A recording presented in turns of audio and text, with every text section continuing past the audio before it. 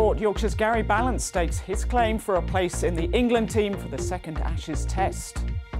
I'll be reporting from Yorkshire's latest luck. Here with all the weekend sport, Tanya Yorkshire cricketer Gary Ballance has been impressing the selectors. Is he going to get into the team? I think he might well. They're playing a two-day game. Obviously, a batsman's uh, spot is up for grabs with Jonathan Trott having to come home from the uh, Ashes squad, and uh, they put Gary Ballance in at number three, which is Jonathan Trott's position. I don't think he'll bat at number three, but it gave him a chance to have a good old go, and he. Well, we can't have everything in this world.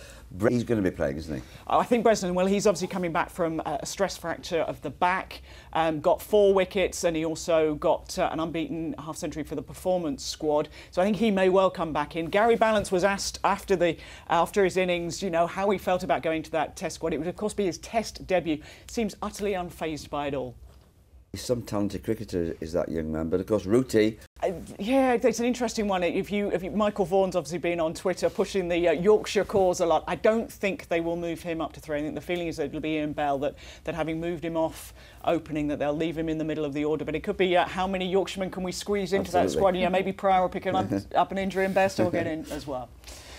So, switching to football, and Sheffield Wednesday are showing few signs of adding to their solitary win in the Championship so far. It leaves them stuck in the relegation zone, and some fans are calling for a change of manager if things don't improve in their match at Blackpool tomorrow. Paul Ogden reports. Finally, from me, a big congratulations to Norman Rimmington, also known as Mr. Barnsley, who is celebrating his 90th birthday today. It's a very, very important job, and there's going to be a big celebration at Barnsley tomorrow. We'll have more about that over the weekend and on Monday. Good old boy, Norman. Yeah, Enjoy happy it. Enjoy every minute of it. Now, the last 10 years or so have seen